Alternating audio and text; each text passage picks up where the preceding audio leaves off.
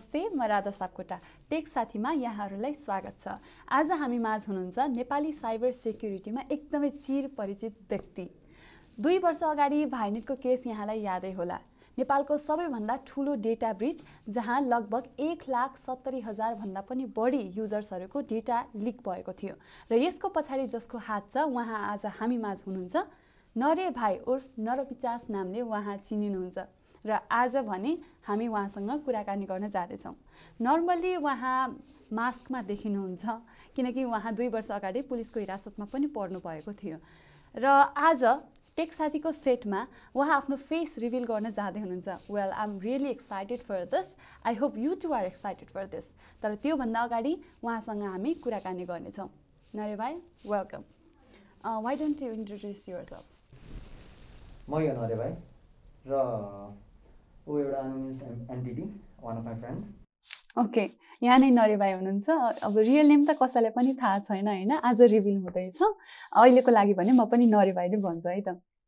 अब सोसियल मिडियामा यहाँको पोस्टहरू हेर्दाखेरि होइन? फेसबुकमा नरे भाइ भनेर चिन्नुहुन्छ नि त। त्यहाँ कन्टेन्ट्सहरू हेर्दाखेरि चाहिँ साइबर सेक्युरिटी अनि इथिकल ह्याकिङको कन्टेन्टहरू सेयर गरिराख्नु भएको छ। सो सिम्स लाइक कि यहाँ त्यो चिजहरू प्रमोट गरिराख्नु भएको छ। होइन? अब ह्याकिङकै कुरा गरौँ।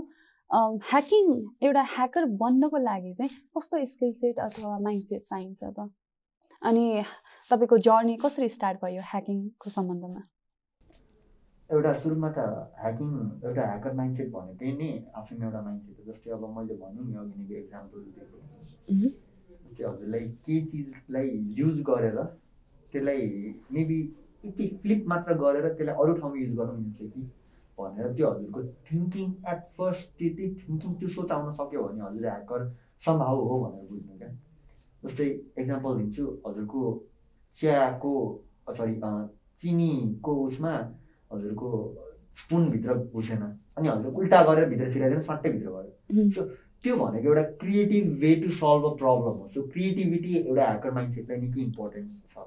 त्यो हजुरको डाइनामिजमहरू चाहिन्छ भनेको हजुरले डाइनामिक एक्टिभिटीहरू गर्न सक्ने हुनुपर्छ। जस्तै हजुरले ठाउँको ठाउँ अचानक हजुरले अब डिभिएमएस पढेर बस्नु भएको छ आउट अफ नोवेयर हजुरलाई चाहिँ अब ब्याकएन्ड गर्नु पऱ्यो भनेर अदरवाइज त्यस्तो त्यस्तो त्यस्तो टाइपको सिचुएसनमा पनि आफूले आफूलाई गर्न सक्ने एउटा लेभलसम्म पुगेको राम्रो हुन्छ भन्छु मैले। पुरा सिकेर खत्रै गर्नुपर्छ चाहिँ भन्दैन म। त्यो लेभलसम्म पुगेको राम्रो। है? अनि अब टेक्निकल नलेजमा पनि हजुरको नेटवर्किङ नलेजदेखि लिएर हजुरको जुन एउटा कम्प्युटर कसरी काम गर्छ लो लेभलमादेखि लिएर हाइएस्ट लेभलमा पोसिबल हजुरलाई थाहा छ भने निकै हेल्पफुल हुन्छ। सो मेरै केसमा हेर्नु पर्दाखेरि के भएको थियो भन्दाखेरि म तिन वर्षको थिएँ जब मैले एउटा कम्प्युटर पाएँ मैले एउटा लाइक गेमिङ गर्नको लागि एउटा राम्रो ठाउँ पाएको थिएँ। अब त्यही गेममा जुन रेगुलर भ्याल्युजहरू जुन हुन्छ हेल्थहरू तिनीहरू तिनीहरूबाट चाहिँ म अलि लाइक एक्सपी लेभलहरू भयो। अगाडिको चिजहरू अनलक हुँदैन। त्यसमा चाहिँ अलिक झ्याउलाएर how to bypass it kind of त्यस्तो टाइपको क्वेरीहरू थियो मेरो पहिला। पछि गएर चाहिँ अलि एडभान्स टुल्सहरू मैले थाहा पाउनु थालेँ जस्तै चिट इन्जिनहरू भयो अनि तिनीहरू टुलहरू चलाउन थालिसकेपछि म सुस्त रिसोर्स ह्याकर भन्ने चाहिँ भेटेँ क्या। चिट इन्जिनले चाहिँ हजुरको के गर्छ भन्दाखेरि अगाडितिर भएको भ्याल्युहरूलाई चेन्ज गर्नमा हेल्प गर्छ भनेको हजुरको दुई सय कोइन्स छ भने कुनै गेममा चिट इन्जिनबाट मैले त्यसलाई चार सय कोइन्स गराउन सक्छु अरू नाइन नाइन नाइन नाइन या nine nine nine nine coins गराउन सक्छु। अनि त्यसपछि मैले रिसोर्स ह्याकर भन्ने एउटा बुझेँ। अनि त्यसपछि हेक्स एडिटर भन्ने पनि आई गेस प्रोजेक्ट आइजिआई भन्ने गेममा त्यो पनि ट्राई गरेँ मैले। सो गेमिङबाटै नै सुरु भएको सबै। अनि हेक्स एडिटरले अब के हेक्स भ्याल्युहरूलाई हामीले एडिट गरिसकेपछि बाइनेरीमा ती सर्टेन चेन्जेसहरू हुन्थ्यो गेममा जसले गर्दा हामीलाई गेम खेल्न सजिलो हुन्थ्यो अझै। अनि त्यसपछि रिसोर्स ह्याकर भन्ने सिकेँ जसबाट चाहिँ मैले आफ्नो कम्प्लिटली अपरेटिङ सिस्टमलाई नै मोडिफाई गरिसकेको थिएँ। भनेको रिसोर्सको वेमा भनेको मैले अपरेटिङ सिस्टमलाई नै त्यसको डिएलएलदेखि लिएर इएक्सीसम्म जो म्यानुअली हातले नै सिलेक्ट गरेर त्यसको मोडिफाई गर्ने काम तिनीहरू गर्न थालेँ मैले है। यो चाहिँ लोकल लेभलमै थियो अझैसम्म। म अझैसम्म एउटा इन्टरनेट लेभलमा नेटवर्क लेभलमा गएको थिइनँ त्यति बेला। अनि सुस्तरी के भयो भन्दाखेरि अब मजा चाहिँ आइरहेछ अब यो चिज के हो पनि थाहा छैन अब कहाँबाट म भित्र छिरे पनि थाहा छैन। कहाँ पुगेछु टाइपको पनि थाहा थिएन मलाई। अनि के भइदियो भन्दा मेरो ट्याक्कै नाइन्थ स्ट्यान्डर्ड पनि भएको बेला पऱ्यो र म बेङ्गलोर जानु पऱ्यो। अनि बेङ्गलोर गएकै बेलामा मैले त्यहाँको साइबर सेक्युरिटी कम्पनीमा त्यहाँको एउटा इन्फोसेक कम्पनीमा भनौँ मैले इन्टर्न गर्न पाएँ। र त्यो इन्टर्न गर्ने ड्युरेसनमा चाहिँ मैले थुप्रै जति चिज सिक्नलाई मलाई लामो समय लाग्थ्यो होला एक्लैमा एकदम सर्ट पिरियड अफ टाइममा सबै रिसोर्सेस त्यही भएको कारणले गर्दाखेरि स्ट्रेट फरवर्ड मलाई पढ्नमा निकै हेल्पफुल भयो। अनि त्यसपछि प्लस मलाई प्र्याक्टिकली टेस्ट गर्नको लागि त्यहाँ डिभाइसेसहरू पनि थियो र एउटा क्लाइन्ट बेस पनि मैले चलाएको याद छ मलाई। अनि सो यो सबले मलाई एक्सपिरियन्स गादर गर्नमा हेल्प गर्यो। सो यस्तो हो कि यो भनेको अब हामीले आफैले पनि म आवाज लकी गाएँ होइन। चाँडो सिक्न पाएँ भन्छु म लकी। नभए सिक्ने त मैले नै हो अलि ढिलो सिक्थेँ होला है। तर अब ह्याकर भन्नलाई के चाहिन्छ भन्दाखेरि मेरो केसमा मेरो पर्सनल केसमा के रहेको छ भन्दा एउटा क्रिएटिभिटी निकै नै चाहिन्छ है। You need to be creative not like के भन्छ अरे हुनैपर्छ भनेर जबरजस्ती पनि छैन तर भएको एकदम हेल्पफुल हुन्छ हजुरको टेक्निकहरू आफैले डेभलप गर्ने बेलामा। त्यसपछि अर्को चाहिने निकै इम्पोर्टेन्ट चिज हुन्छ हजुरले नेटवर्किङको बारेमा राम्ररी बुझ्नुपर्ने हुन्छ। अब कतिपय केसेसहरूमा मलाई अब म सिकिरहेको बेलामा एक दुईवटा टर्महरू सुन्थेँ मैले है अब कोवर्करहरूले भन्थ्यो होइन ओएसआइले थाहा छैन भने ह्याकर नभन्दा हुन्छ आफूले आफूले टिसिपी चाहिँ थाहा छैन भने के मलाई के नेटवर्किङ आउँछ भनेर त्यस्तो यस्तो कुराकानीहरू गरेको मैले सिनियरहरूले चाहिँ सुन्थेँ क्या। अनि के रहेछ भनेर आफूले एक्सप्लोर गर्ने बेलामा चाहिँ एकदम मजाको टपिक थियो त्यो। अनि यो सब चिजहरूमा चाहिँ हामीले क्लियर हुनुपर्छ कसरी प्रोटोकलहरू काम गर्छदेखि लिएर यो सब हामीले चाहिँ फेरि डकुमेन्टेसन फ्रीमा पाइन्छ क्या इन्टरनेटमा भनेको ह्याकिङ सिक्नलाई पनि पैसा लाग्दैन। अब कोही टिचर चाहिएर कोही ट्युटरको थ्रुबाट सर्टिफिकेटका साथ जानु मन छ भने त्यति बेलामा पेमेन्ट गर्ने हो। तपाईँ सिक्नु छ भने रिसोर्सेसहरू जति पनि छ इन्टरनेटमा फ्रिली एभाइलेबल छ। अनि त्यही भएर ह्याकर बनाउन चाहिने भनेको एउटा प्र्याक्टिस हो कन्सिस्टेन्सी हो क्रिएटिभिटी हो माइन्डसेट हो र त्यसपछि फाइनली आफ्नो मेन्टरमाथि रेस्पेक्ट हो। यो निकै इम्पोर्टेन्ट चिज हो। किन भन्दाखेरि मेन्टर भनेको सधैँ आफूभन्दा एक्सपिरियन्स लेभलमा हुन्छ र उसले कतिपय प्रब्लमहरूको सोल्युसन उसले प्रब्लम नहेरिकन भन्न सक्छ क्या। जस्ट बिकज हिज एक्सपिरियन्स यो यो त होइन भन्ने बित्तिकै झापती भएको रेकर्डहरू थुप्रै छन्। अनि त्यही भएर चाहिँ मेन्टरसँग राम्रो रिलेसन गराएको चाहिँ राम्रो हुन्छ भन्छु do you have a mentor अहिले प्रेजेन्टमा हुनु हुँदैन तर यस ड्युरिङ माई इन्टर्न उहाँ मेन्टर हुनुहुन्थ्यो लास्टै खतरा मान्छे। उहाँले चाहिँ मलाई मेन्टरिङ भनेर सेसन चाहिँ एउटा पनि लिनु भएन। उहाँले मलाई भिए र भिएपिटीको डिफ्रेन्स मात्र बताउनु भयो र प्लस मैले चाहिँ कुनै पनि एउटा एक किसिमको हुन्छ नि कसरी गर्ने भनेर भन्दा पनि र कर्पोरेट लेभलमा पेन टेस्टिङ कसरी गर्ने भनेर सिक्या हो क्या अब हजुरले यो भने के अर्थ बुझ्नुहुन्न भने हजुरले मलाई ह्याकर पनि भन्न पाउनु हुँदैन है। अनि अनितिकै ह्याकर भन्न पाउनु हुँदैन। अब यो सब जानेको केसमा चाहिँ कस्तो भयो भन्दा भाइनेटमाथि त्यो जुन मैले गरेँ त्यो एउटा रेगुलर पेन्टेस्टको एउटा चिज मात्र थियो एउटा पेन्टेस्टको एउटा सानो पेन्टेस्टिङ जस्तै सानो भलरेबिलिटीलाई एक्सप्लोइट मात्र गरेको थियो।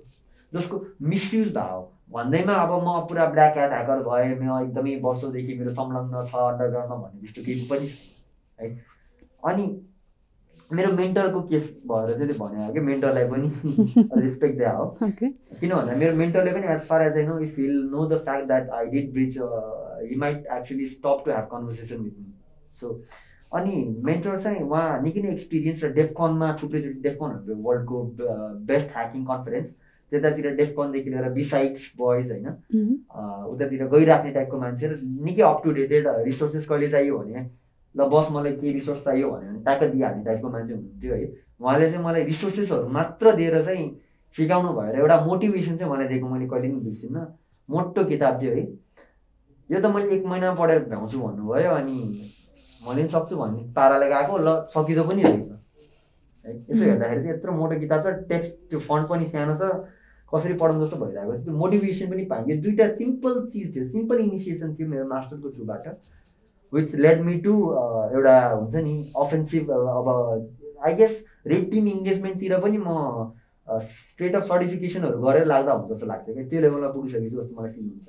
सर्टिफिकेसनको मात्र कुरा हो। त्यो पनि रेड टिम इङ्गेजमेन्टको लागि। अनि रेड टिम इङ्गेजमेन्ट भनेको पेन टेस्टिङ भन्दा पनि अलि अलगै टपिक हो। त्यसलाई चाहिँ अहिले व्याख्या गरेर नबसौँ ओके ह्याकर भन्ने बित्तिकै नेपाली सोसाइटीमा चाहिँ के छ भने दे आर अनइथिकल भन्ने त्यो मिसकन्सेप्सन चाहिँ रहेको पाइएको छ होइन?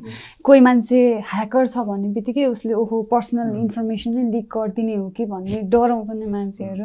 अनि कसैले अब मानौ तपाईँ ह्याकर हुनुहुन्छ होइन? तपाईँले आएर आफ्नो साथीलाई विश्वास गरेर भन्नुभयो भने उसले पुलिसमा गएर खबर गरिदिने जस्तो कुराहरू पनि हुन्छ आउट अफ फियर भनौँ हो। यस्तो केसमा चाहिँ अब कतिजनाले ह्याकिङ सिक्ने सिक्ने इच्छा हुँदा हुँदै पनि यस्तो भइहाल्यो कि अनि वातावरण। नमिल्ने हो कि अब त्यस्तो कन्ड्युसिभ इन्भाइरोमेन्ट नहुँदाखेरि अब त्यो इच्छा नै मारिदिने त्यस्तो केस हुनसक्छ।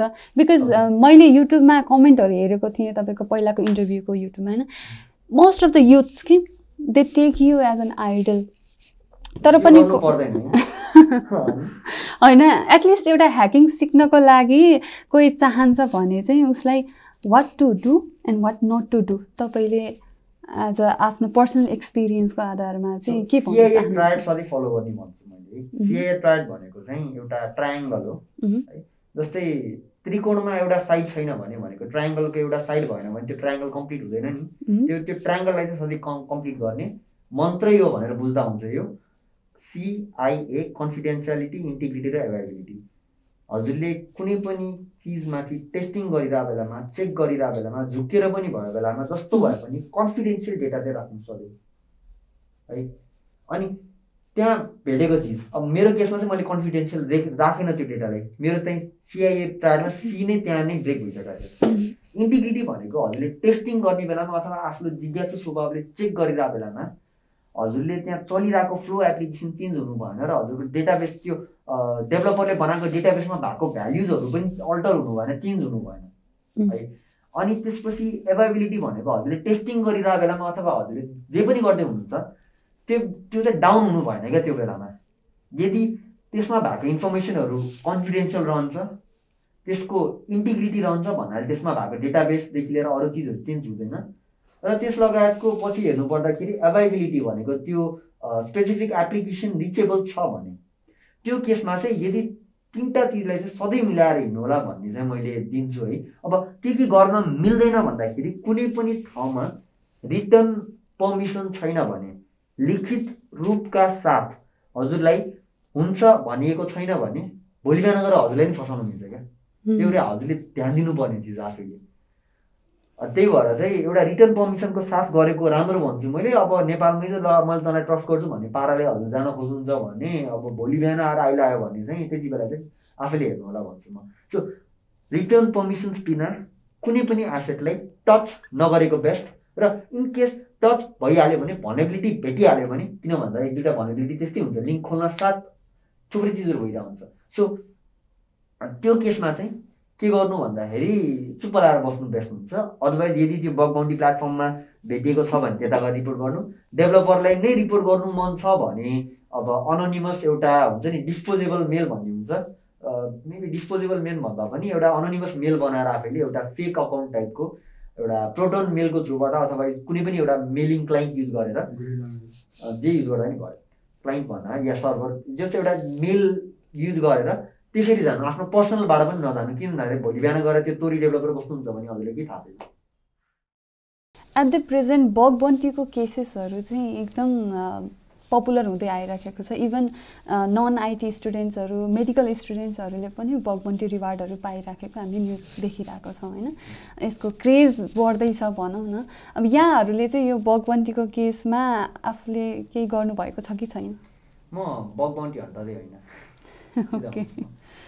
बेला बेलामा फ्याट्टाफुट्टो गर्नु that's a different story but एउटा रेगुलर बेसिसमा चाहिँ म गर्दैन यहाँले अरूलाई चाहिँ सिकाउनु भएको छ कि छैन? सिकाइरहेको हुन्छु। म र मैले सिकाएकै बेसिसमा चाहिँ अन पनि गरिरहेको हुन्छ। मलाई चाहिँ त्यो मन पर्दैन पर्सनल्ली एउटा सानो इभेन्ट छ त्यो इभेन्टले गर्दाखेरि चाहिँ मन नपऱ्यो मलाई इन्टायर बग बाउन्टी नै हुन त अब त्यो पर्सनल थियो तर ओके पछि गएर चाहिँ ट्राई पनि गरेँ नि इट वाज टु लेट भनौँ रियली हामीले अब हाम्रो जनरल अडियन्सहरूलाई बुझाउनको लागि what really is a bounty यहाँको केसमा? सो सुरुमा बााउन्टी भने के होबाट म सुरु गर्छु है.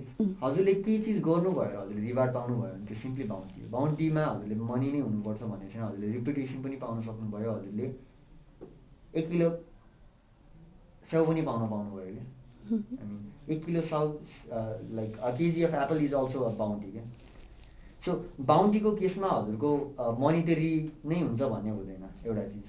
अनि अर्को चिज मोनिटरी नभएर कुनै एउटा मेटेरियलै हुन्छ भन्ने पनि छैन हजुरको रिपुटेसन पनि इन्क्रिज हुनसक्छ बााउन्टीमा भनेको त्यो हजुरले केही गरे बापत पाउने चिज हो। है अब त्यसपछि अगाडिको लेभलमा के रहेको छ भन्दा बग भनेर बग भने के भन्दाखेरि एउटा सिम्पल एप्लिकेसन हो एउटा डेभलपरको पर्सपेक्टिभबाट जसले कुनै एउटा टास्कलाई जुन वेमा the way it's suppose to be executed त्यो वेमा रन हुन दिँदैन।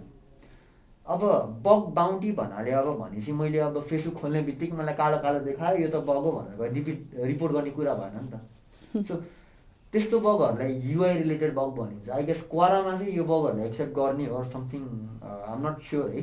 के के प्लेटफर्महरूमा त्यस्तो बगहरू पनि एक्सेप्ट गरिन्छ। इनफ्याक्ट लिभ इजिली भन्ने छ बाई युनिक दाई अनि त्यसमा पनि युआई रिलेटेड बग बााउन्टिज चाहिँ प्रोभाइड गर्ने भइरहेको छ by yeah unique point so live easily dot com अनि त्यसरी बग बग बााउन्टी भने युआई रिलेटेड बग र सेक्युरिटी रिलेटेड बग दुइटैमा हुन्छ। अब सेक्युरिटी रिलेटेड बगमा हेर्नु पर्दाखेरि हामीले प्राइभेसी इन्कन्भिनियन्सेसहरू देखि लिएर हजुरको अकाउन्टमा आउन सक्ने इस्युजहरू जस्तै हजुरको अगेन फेरि प्राइभेसी इन्कन इन्कन्भिनियन्स टपमा आउने भयो। सेकेन्ड लिस्टतिर हजुरको आउने भयो कुनै अनअथोराइज एक्टिभिटी हजुरको अकाउन्टबाट पास हुने हजुरले थाहा नभइकन जस्तै हजुरको माइक्रोफोनले रेकर्ड गर्न थाल्ने हजुरले थाहा नपाइकन त्यो पनि एउटा बग हो नि ठुलो बग हो नि मैले हजुरको रेकर्डिङ सुन्न पाइरहेको छु। तर यसो हेर्नु पर्दाखेरि एउटा ह्याकर पर्सपेक्टिभबाट हेर्नु पर्दाखेरि चाहिँ अर लाइक एउटा जर्नलाइज पर्सपेक्टिभबाट हेर्नु पर्दा चाहिँ यो अलिक ठुलो इस्यु जस्तो हामीलाई लाग्दैन क्या। हामीले ठुलो इस्यु भनेको चाहिँ रिमोट कोड एक्जिक्युसन जस्तो लाग्छ। भनेको हजुरको सिस्टममा लिटरली फुल एक्सेस पाउनु भनेको हामीले ठुलो कुरा हो। हामीले हजुरको त्यो भोइस सुन्न पाइयो आवाज सुन्न पायो is not an thing we are not interested in यो डेटा अनेस्टली भन्नुपर्दाखेरि आई आई डोन्ट थिङ्क कुनै पनि ह्याकर कुनै पनि मान्छेको डेटामाथि इन्ट्रेस्टेड पनि हुन्छ जस्तो पनि लाग्दैन क्या मलाई। किन जति पनि हुन्छ। त्यो हेरी हेरी वाक्क परिसकेको हुन्छ मान्छे। अब करेन्ट बग बााउन्टीको स्कोपमा लाइक कन्टेक्समा के छ भन्दाखेरि नेपालको हेर्नुपर्दा जो पनि मान्छेले चाहिँ बग बााउन्टी हन्टरहरू हुनुहुन्छ है आफ्नो वेबाट गर्नुभएको छ। बग बााउन्टी हन्टिङ भनेको बियुजी बगलाई एक्सप्लोइट गर्ने अथवा खोज्ने हो। अनि अर्को हुन्छ एक्सप्लोइट इएक्सपिएलओआइटी भन्ने हुन्छ। त्यो भनेको चाहिँ मैले remote code execution or some other एक्टिभिटिजहरू होइन अनइन्टेन्डेड एक्टिभिटिजहरू मैले ओएसको गाइडलाइन्स मेबी अरू मेरो आफ्नै क्रिएटिभ वेबाट टेक्निकल चिजहरू त्यतापट्टि हुन्छ। अब नन टेक्निकल चिज पनि बगमा गनिन्छ। द्याट डजन्ट मिन कि यसलाई नन टेक्निकल चिज आउँछ र मैले यसलाई ऱ्याक गर्छु भन्ने पनि हुँदैन। गरिरहेछ एटलिस्ट तर पोइन्ट के छ भन्दाखेरि बग र यो जुन ह्याकिङ जुन छ दुइटामा एउटा डिफ्रेन्स चाहिँ एकदम मेनली बुझ्नु पऱ्यो ह्याकिङ भनेको चाहिँ इट्स नट पहिलो कुरा त ह्याकिङ भनेकै के हो कतिजनाले बुझ्नु भएको छैन क्या मैले यहाँ। किन भन्दाखेरि ह्याकिङ भनेको कुनै चिजलाई गएर मतलब जो जे हजुरले सिधा बुझ्नु भएको छ नि ह्याकिङ भने त्यो होइन ह्याकिङ भने ह्याकिङ भनेको चाहिँ मैले यो फुललाई चाहिँ उल्टा टाङ्नु भनेको नि तर त्यसले के फाइदा गराउँछ भने नि त्यो ह्याकिङ हो क्या किसिमको। त्यति सिम्पल ह्याकिङको डेफिनेसन मैले गमलामा पानी हाल्नको साटो मैले चाहिँ यहाँ maybe regression some technique implement गर्नु भनेको त्यही हो ह्याकिङ भएन धेरै पर जानु पर्दैन. अब यही चिजलाई नै हामीले डिजिटल्ली कुनै एउटा वेमा जसलाई हामीलाई टर्मिनोलोजिजहरू हामी दिएको छौँ भनेबिलिटी भन्छौँ त्यसलाई कमजोरी भनिन्छ एक्सप्लोइट भनिन्छ त्यसलाई हामीले बन्दुक अथवा हतियार भन्दा पनि भयो अनि टुलहरू हुन्छ त्यो टुलहरू भने फेरि अलगै चिज भयो। अनि त्यसपछि हाम्रो त्यो थुप्रै टर्मिनोलोजिजहरू छ। भनेको यसमै अलग चिजहरू छ। सो ह्याकिङ भनेको ओभरअलमा भन्नुपर्दाखेरि is not some sort of activity क्या? It is an activity but not an activity that always reflect something negative है? अनि बग बााउन्टीको केसमा चाहिँ हजुरले कुनै बग भेट्नु भयो र हजुरले बााउन्टी पायो भने द्याट्स अल त्यति हो बग बााउन्टी है? अब त्यो केसमा हजुरको टेक्निकल बग हुन पायो हजुरको त्यही माइक्रोफोन रिलेटेड है? त्यो हुन पायो है? अर मेबी हजुरको के भन्छ अरे कसैलाई रिप्लाई गर्न नमिल्ने रिप्लाई गइदियो यस त्यो पनि एउटा भ्यालिड इस्यु हो भनेको। हजुरले चाहिँ कमेन्ट गर्न नमिल्ने भनेर लगाउनु भएको छ आफ्नो उसमा। त्यहाँ गएर मैले कमेन्ट गरिदिएँ। त्यो पनि एउटा भ्यालिड भएको तर सेक्युरिटीतिर कसरी जान्छ भने त्योहरू क्वेसनहरू पनि रेज हुन्छ। त्यो त्यसलाई पनि हेर्दै हजुरले चाहिँ त्यसरी बग बग हन्टिङ र ह्याकिङको बिचमा डिफ्रेन्स बुझ्दा हुन्छ र ह्याकिङमा पनि hacking is in something like मैले गरेर केही उपद्रव गरेँ भने त्यो ह्याकिङ होइन मैले ह्याकिङ भनेको चाहिँ मैले केही चिजको एउटा बेटर सोल्युसन अर कम पर्म्युटेसनमा मैले त्यसलाई सक्न सकेँ अर मलाई कम्फर्ट हुने तरिकाले गर्न सकेँ। जे पनि हुन पायो त्यो ह्याकिङमा सो ह्याकिङ भनेर चाहिँ एक्चुली त्यो हो र बग हन्टिङ भनेको स्पेसिफिकली कुनै बग भेट्नुभयो हजुरले र त्यो बग एक्सेप्ट गर्ने प्रोग्राम चाहिँ त्यो बगहरूमा कन्सर्न थियो। हजुरले रिपोर्ट गर्नुभयो सरी हजुरले रिपोर्ट गर्नुभयो। र त्यसपछि त्यो रिपोर्ट चाहिँ आयो हजुरतिर। सरी बााउन्टी चाहिँ आयो त्यो रिपोर्टको बेसिसमा हजुरतिर सो यो एउटा ओभरअल बग बााउन्टी सानो ब्रिफली भने यसमा थुप्रै स्टेजेसहरू हुन्छ भित्रभित्र गएर यताउता होइन पिओसिजहरू प्रुफ अफ कन्सेप्टहरू सब्मिट गर्नुपर्ने हुन्छ। त्यतातिर नजाउँ तर पोइन्ट चाहिँ यो दुइटा हो यस त्यसै गरी एउटा नयाँ क्वेसन मेरो तर्फबाट है। Is Nepal safe in context of cyber security मैले नो भन्दैन। तर एब्सोल्युटली यस पनि भन्दैन। सो एउटा ग्रे लाइन छ। भनेको दुई वर्ष अगाडि जस्तो सिचुएसन थियो जस्तो कन्डिसन थियो नेपालको when it come to like इन्फोसेकको बारे है साइबर सेक्युरिटीको बारे। जसरी पनि चिजहरूलाई प्रायोरिटाइज गरिन्थ्यो। त्यो लेभलमा अहिले प्रायोरिटाइजेसन एकदमै बढेको छ भनौँ न कम्पेरिटिभली पहिलाभन्दा। भनेको अहिले फोकसहरू आइरहेको छ विच इज गुड र पहिलाभन्दा चाहिँ अब त्यही मैले नै गरेको त्यो सानो उपछि चाहिँ थुप्रैजनाहरू अलर्ट पनि भइसक्नु भएको छ। जसले गर्दाखेरि निकै नै हेल्पफुल भएको छ त्यो एन्टायर इभेन्टले गर्दा अब त्यो इभेन्टलाई इभेन्टको बारेमा के बोल्न चाहन्न। तर त्यसपछि के भएको छ भन्दा हजुरको थुप्रैजनाले पेन टेस्ट गर्नुभएको छ। बिएपिटी प्रोजेक्टहरू आइरहेको छ कम्पनीहरूमा मैले डेटाहरू पाएको थिएँ। र यो सब भनेको राम्रो राम्रो साइडतिर गइरहेको छ। अब गभर्मेन्टको कन्ट्याक्टमा हेर्नु पर्दाखेरि गभर्मेन्टले पनि इफेक्टिभली पेन टेस्टहरू गरिरहेको छ विच इज भेरी गुड तर कस्तो छ भन्दाखेरि फेसबुक त एप हुन्छ बाहिर आउँछ त मिलाएर बुझ्नु अब यो के हो? फेसबुकको केसमा कतिसम्म गरेर हुन्छ बग बााउन्ड्रिज छ तिनीहरूको। आफ्नै कस्टम बग बााउन्ड्री प्रोग्राम छ आफ्नै छ। कतिवटा डेभलपरहरू हायर गरेर छ थुप्रै। कतिवटा ह्याकरहरूलाई तिनीहरूले पे गरेर हुन्छ डेली बेसिसमा थुप्रै। है? त्यही पनि ब्रिज भएर हुन्छ भनेपछि यु सुड नो कि सेक्युरिटी इज अ मिथ भनेर। यो भनेको एउटा भ्रम हो भनेको हजुरले गएर त्यो ढोकामा तालचा लाए पनि नलाए पनि तालचा लगाउनु राम्रो भनेर बुझ्ने है? अब अर्को कुरा के छ भन्दाखेरि जुन लेभलमा अहिले डेभलप भइरहेको छ त्यो डेभलपमेन्ट हेर्दा मलाई खुसी लाग्छ। तर जुन कम्प्लिकेटेड अट्याक जब आउँछ नि जस्तै मानौँ इन्टरनेसनल अट्याकहरू आउनु थाल्छ जब। है नेसनल लेभलमा अट्याक त कसले पो गरेर त। फर्स्ट क्वेसन त्यही हुन्छ। ल गरिहाल्यो भने पनि उसले समय समाउन सकिन्छ। तर जब इन्टरनेसनल अट्याक आउँछ नि त्यति बेलामा चाहिँ अब यहाँको फायरवालहरू चाहिँ निकै नै एक्टिभ भएको छ भनेर मैले सुनेको थिएँ। तर अब फायरवाल अडिटिङ के भएको छ कसो भएको छ त्यो अलि हेर्नुपर्ने टपिक छ मैले आफैले नै। अनि पहिलाभन्दा चाहिँ धेरै बेसी भएको छ मैले भन्छु त्यो। त्यतितिरबाट नै म कन्ट्रिब्युट गर्न चाहन्छु। साइबर सेक्युरिटीको केसको कुरा गर्दाखेरि विभिन्न इन्टरनेसनल ब्रान्डहरूको पनि कतिपय केसमा चाहिँ एट्याकहरू भएको हामीले सुन्दै आएका छौँ। फर इक्जाम्पल फेसबुककै डेटाहरू लिक भयो वाट्सएप पनि सेक्योर छैन भन्ने जस्तो कुरा आयो।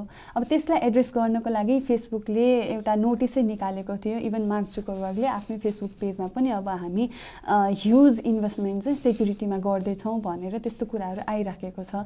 विभिन्न ब्रान्ड्सहरूले चाहिँ त्यसरी एड्रेस गर्छन्। अब नेपालको केसमा हेर्दाखेरि त्यस्तो भलनरेबिलिटीको केसहरू धेरै आयो। Mostly in the case of digital banking एटिएमको कुरामा अनि टेलिकम्युनिकेसन। जुन भाइनेटको केस थियो त्यो पनि त एक किसिमको युजरको पर्सपेक्टिभबाट हेर्दाखेरि त उहाँहरूको सेक्युरिटी एकदम सेक्युरिटीलाई एड्रेस नगरेको देखिएको थियो होइन? सो यस्तो केसमा हेर्दाखेरि कि नेपाली कम्पनीजहरू साँच्चै नै हाम्रो युजर्सको सेक्युरिटीप्रति जवाफदेही छैनन् जस्तो देखिन्छ नि त। यहाँलाई के लाग्छ? नेपालको मात्र होइन सबै ठाउँको मैले भन्नुहुन्छ कसैले व्यवसाय खोल्नु भनेको मैले आफ्नो क्लाइन्टहरूलाई चाहिँ सिक्योर गराउँछु भनेर होइन कि बिजनेस गर्छु भनेर हो। फर्स्ट सर्ट है अनि हजुरको सेक्युरिटीतिर जब दिमाग खेल्न जान्छ तब जति जति बेलातिर चाहिँ त्यो कम्पनीले सेक्युरिटी चाहिँ इम्पोर्टेन्ट रहेछ है। हामीले दुःख पाइन्छ है। हाम्रो क्लाइन्टले दुःख पाइन्छ होइन पाउँछ होइन। हामीले दुःख पाइन सक्छ है भनेर जब त्यो रियलाइजेसन हुन्छ त्यति बेलामा बल्ल कम्पनीले इन्भेस्ट गर्न थाल्ने स्ट्रेट फरवर्ड। अब कुनै पनि कम्पनी मैले सबै कम्पनी त भन्दैन तर majority of the company is not interested in you क्या is simply not interested in you nor your security तर अब कम्पनीलाई नै फरक पर्ने तरिकाले आउनु थाल्यो भने त्यति बेला बल्ल तिनीहरूले एक्सन दिने हो। अब नेपालको केसमा के छ भन्दाखेरि यस्ता केसेसहरू त्यति भएको थिएन अगाडितिर। भाइनेटकै केस पछि गएर चाहिँ एकदमै यु नो धेरै चिज भयो। र त्यसले गर्दाखेरि थुप्रैजना अलर्ट हुनुभयो। मैले यो चिज अघि नै पनि रिपिट गरेको थिएँ र अलर्ट भएकै कारणले गर्दाखेरि चाहिँ अहिले एउटा पेजमा आउनु भएको छ एउटा कुनै लेभलमा आउनु भएको छ जहाँ म खुसी छु कुनै ठाउँबाट। र कतै कतैबाट कस्तो पनि लाग्छ भन्दाखेरि अलि अलि अलि ध्यान दिएको भएको चाहिँ राम्रो टाइपको लाग्छ मलाई। नेपालको हिस्ट्रीमा चाहिँ सबसे ठुलो नै यो डेटा ब्रिज हो नि त होइन? भाइनेटको डेटा ब्रिज लगभग एक लाख सत्तरी हजारभन्दा पनि मान्छेहरूको युजर इन्फर्मेसन चाहिँ लिक भएको हो। यसलाई तपाईँले अब पहिल्यै भनिसक्नु भएको छ। इट वाज अनइथिकल अनि मैले मेरो तर्फबाट एउटा अब नजाने एउटा गल्ती भएको हो भनेर स्वीकारिसक्नु भएको छ होइन? तर यहाँलाई चाहिँ अब यस्तो पर्सेप्सन भइसकेको छ कि मान्छेहरूको एउटा कमन मिसकन्सेप्सन भनौँ न ह्याकर भन्ने बित्तिकै उसले चाहिँ अब आफ्नो डे पर्सनल डेटा मात्रै ह्याक गर्ने हो त्यस्तो भनेर चिनिन्छ होइन? तर यही केसमा पनि तपाईँलाई दोषी ठहराएर अब तपाईँ प्रहरी हिरासतमा पनि पर्नुभयो इभन मुद्दा पनि चल्यो। तर अन दि अदर साइड भाइनेटको केसमा चाहिँ भाइनेट कम्पनीले एज एन एपोलोजी लेटर पनि त्यस्तो युजरलाई कन्भिन्स गराउनको लागि भनेर त्यस्तो केही पनि गरेन। इभन म नै भाइनेटको युजर थिएँ त्यति समयमा किनकि त्यो भनेको मेरो लागि एकदम ह्युज कन्सर्न हो नि त होइन? मेरो पनि डेटा चाहिँ लिक भएको छ भन्ने कुरा। अब मैले त्यसलाई सिरियसली लिन्छु भने कम्पनीले चाहिँ किन सिरियसली लिएन भन्ने कुरा मेरो भाइनेटको लागि क्वेसन हो। Not only Vianet even other companies also किनकि अदर कम्पनीजको पनि के छ नेटवर्क सेक्युरिटीको स्टेटस हामीलाई केही पनि थाहा छैन। इभन डिजिटल वालेट्सहरूको अनि अरू सिस्टम पिएसपी पिएसओसहरूको पनि के छ हामीलाई थाहा छैन। यस्तो केसमा चाहिँ कम्पनीहरू लायबल हुनुपर्ने हो तर कसरी हुनुपर्ने हो तपाईँको विचारमा चाहिँ? मेरो विचारमा चाहिँ मैले के बुझ्छु भन्दा बाहिनेटबाटै हुनुहुन्थ्यो है विपक्षी वकिल। उहाँले मलाई मलाई भन्दा पनि न्यायाधीशले भन्नुभएको थियो ignorance of law is not an excuse भनेर। ओके। है त्यो छोयो मलाई। Maybe ignorance of law is not an excuse भएको भएर चाहिँ as far as I know Vianet should be equally responsible for the data breach because medium म थिएँ है। मैले गरे हो म समाज थिएँ मेरो भयो जति हुनु थियो तर कम्पनीमाथि चाहिँ केही पनि भएन। है त्यो भन्न खोजेको चाहिँ मैले कम्पनीले केही न केही गर्नु पर्थ्यो केही न केही हुनु पर्थ्यो भने होइन कि कम्पनीले एटलिस्ट एउटा सरी लेटर अथवा अपोलोजी लेटर नभए एउटा कुनै एक्सन गरेको भए मुद्दा बाहेकको है आई गेस ब्रिजको बारेमा डिटेल्ड इन्फर्मेसन आएको थियो हाम्रो डेटा ब्रिज भएको छ भनेर। तर कन्ज्युमरप्रति चाहिँ कुनै पनि भाव देखाइएन भन्ने मैले सुन्न आएको थियो। सो भानेटले चाहिँ त्यति गरेको भए राम्रो हुन्थ्यो भन्ने मेरो आशा मात्र अब भानेटले जे गरे पनि इट्स द्याट चोइस है इट्स अ प्राइभेट कम्पनी अनि as far as I know ignorance of law is not an excuse so भानेटको कुनै पनि कन्ज्युमरले गएर चाहिँ भानेटले मुद्दा अहिले पनि हान्न सक्नुहुन्छ as far as I know र यदि हजुरले अहिले गएर मुद्दा हाल्नुभयो भने maybe let's see what happens तर म आफै भानेटको कन्ज्युमर लिस्टमा नपरेको कारणले गर्दा आम जस्ट गर्न keep quiet because I'm not the one who is authorise अब यदि हजुर भाइनेट युजर हो भने you may actually get involve with it र let's see what happens let's see Vianet लगायत अरू कम्पनीजहरूले पनि आफ्नो नेटवर्क सेक्युरिटी चाहिँ एकदमै स्ट्रङ बनाएर लग्नुहुनेछ ताकि हामी युजरलाई पनि एउटा वी वुड फिल सेक्योर कि हामीले आफ्नो पर्सनल डेटाहरू उहाँलाई दि दिएका छौँ so we would be we can rely on them really so भाइनेटको केसलाई लिङ्क गरेर भन्छु म। यहाँले पहिला पनि भनिसक्नु भएको छ विभिन्न प्लेटफर्म्समा कि यहाँले चाहिँ डेभलपर्सहरूले युजर्सको डेटा सेक्युरिटीलाई सिरियसली नलिएकोले उहाँहरूलाई सबक सिकाउनुको लागि जुन त्यो डेटा ब्रिज गर्नुभयो होइन?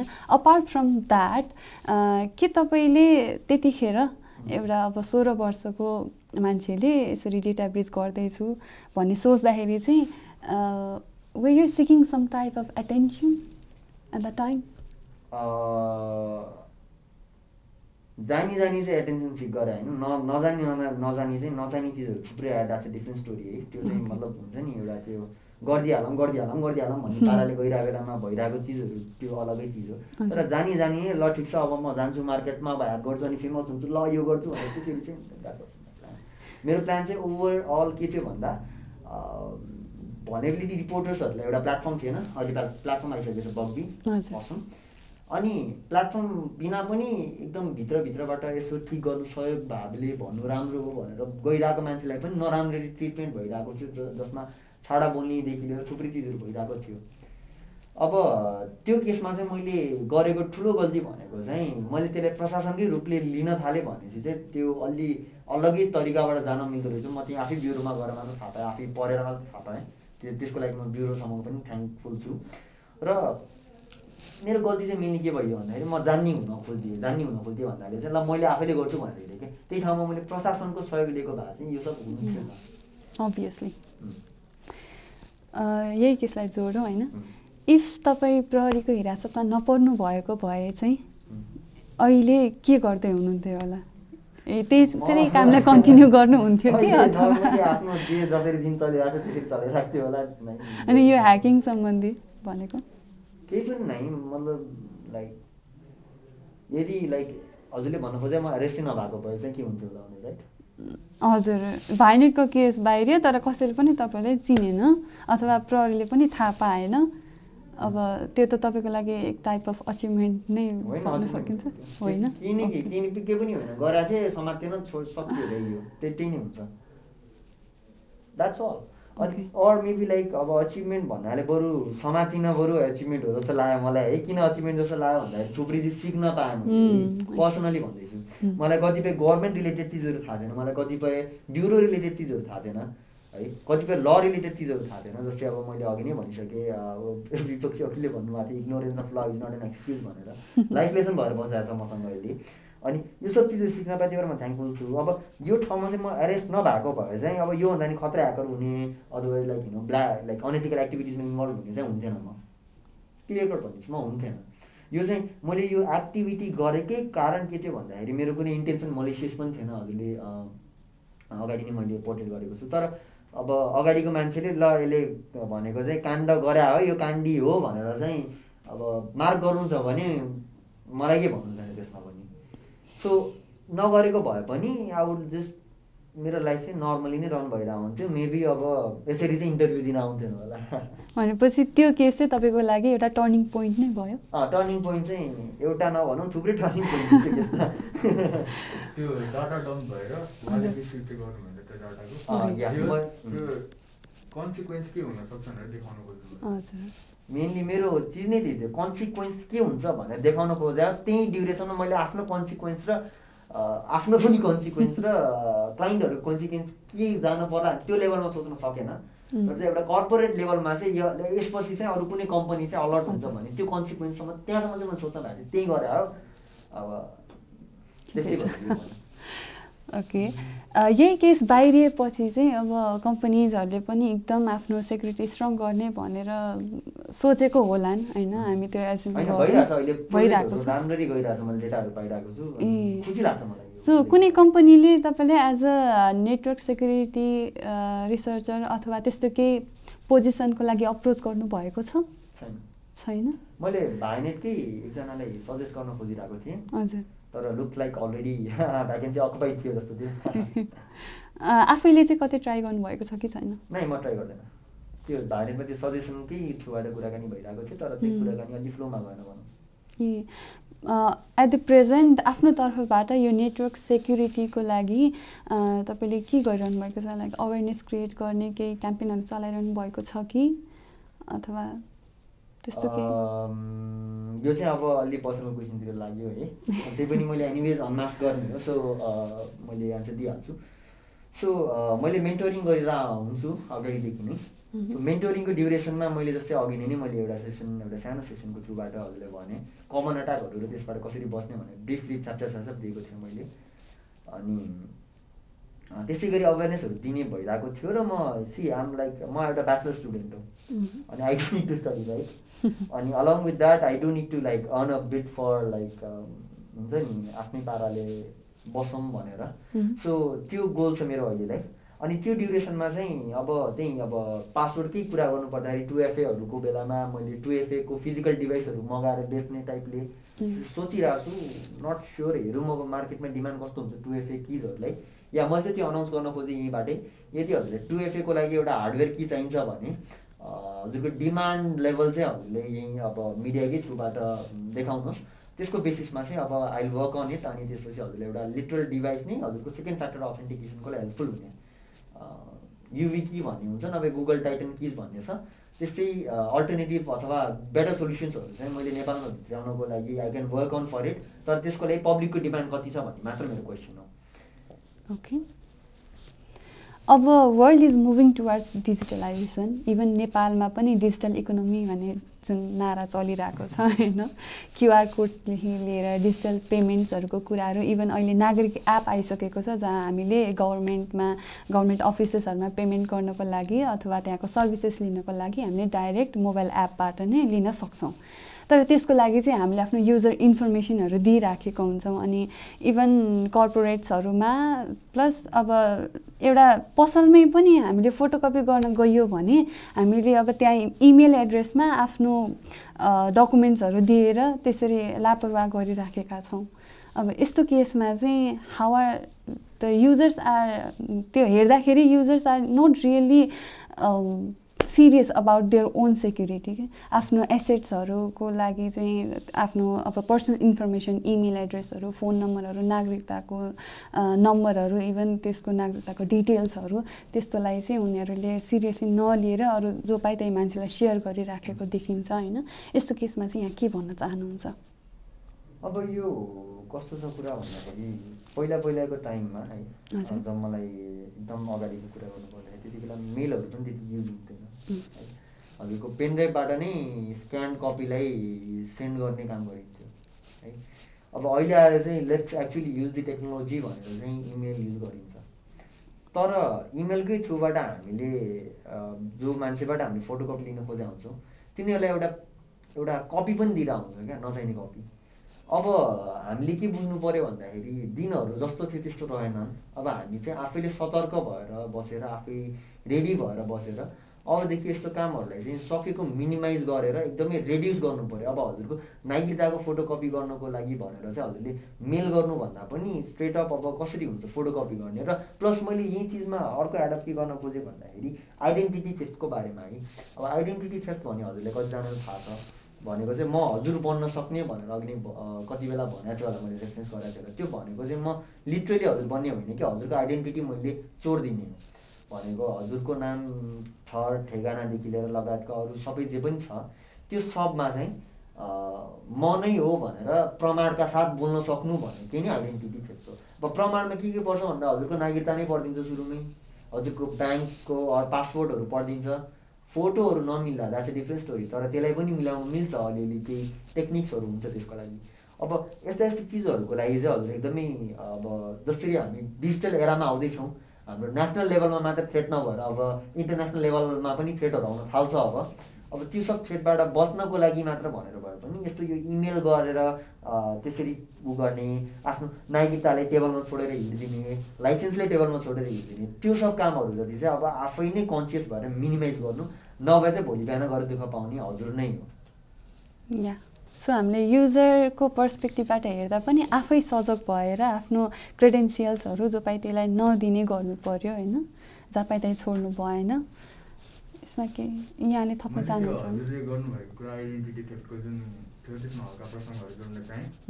अब जस्तै उहाँले भन्नुभयो मान्छेहरूले आफ्नो नागरिकता जस्तै टेबलमा राखेर हिँड्छन्। पासपोर्ट अब ड्राइभिङ लाइसेन्स भए त्यसको चाहिँ इम्प्याक्ट कहाँनिर पर्न सक्छ भन्दा? त्यो डाटा त्यो जुन छ नागरिकता त्यसको मैले एउटा फोटो लिएँ। फोटो लिएँ म गएँ।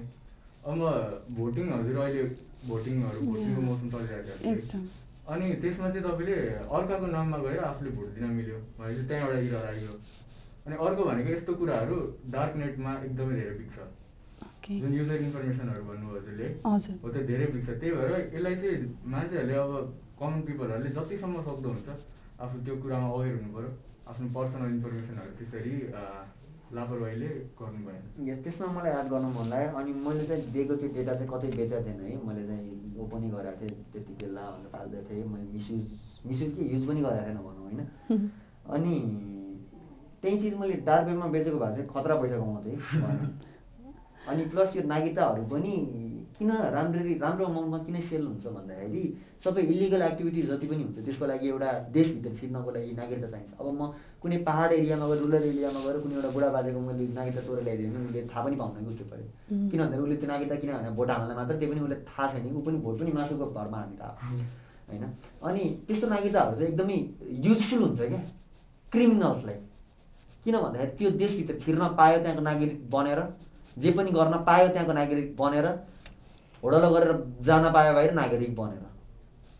त्यही भएर चाहिँ यो नागरिकताहरूको केसमा यो नेसनल लेभल थ्रेडसम्मै जानु सक्छ यो। यसमा अझै एउटा इक्जाम्पल थप्न चाहेँ. अब जस्तै तिमी भयो है. तिमीले एउटा नागरिकताको कपी छ तिमीसँग।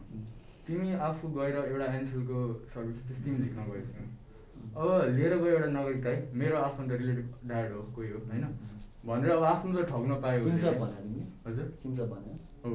हजुर। अनि त्यसरी त्यसरी गर्न पायो है। अनि गएर अब उसले त्यो मान्छे जसको थेफ्ट गरेको थियो आइडेन्टिटी उसको नामबाट सिम झिक्यो एउटा है। अनि उसले लगेर त्यो सिमको मिसयुज कसरी गर्न सक्छ? कसैलाई थर्काउन ब्ल्याकमेल गर्न त्यो गर्न सक्छ? किनभने उता पक्रा हुँदैन। जसको नागरिकता थियो उसलाई जान्छ सबै इन्जाम। त्यसरी नै हुनसक्छ त्यो अलि एकदमै। अलि राम्ररी इन्भेस्टिगेट गर्ने भने लास्ट टावर कहाँ थियो त्यहाँसम्म पनि पुग्न मिल्छ ब्युरोको थ्रुबाट. तर चाहिँ एउटा थ्रेडको एउटा ओपन पोइन्ट हो र सबैजनाले यो ब्युरोलाई त्यहाँ कुन टावर थियो भनेर पनि जाँदैन यो यो चाहिँ सुन्नुपर्ने जान्नुपर्ने चिज यो। ओके अघिको भिडियोमा तपाईँले एड्रेस गरिसक्नु नै भएको छ फर इक्जाम्पल हामीले कतै पब्लिक वाइफाई फ्रीमा पाइयो भने हामीले लगइन गरिहाल्छौँ होइन? अनि इभन कतिपय केसमा त हामीले आफ्नो personal information like mobile number पनि दिन्छौँ अनि ओटिपीहरू हुन्छ त्यो दिन्छौँ। अनि अर्को इक्जाम्पल भनेको चाहिँ लाइक रेस्टुरेन्टहरूमा कतै गएर क्युआर कोड स्क्यान गर्छौँ हामी अथवा त्यहाँको वाइफाई कनेक्ट हुँदैखेरि हामीले मोबाइल ब्याङ्किङहरू चलाइरहेका हुन्छौँ।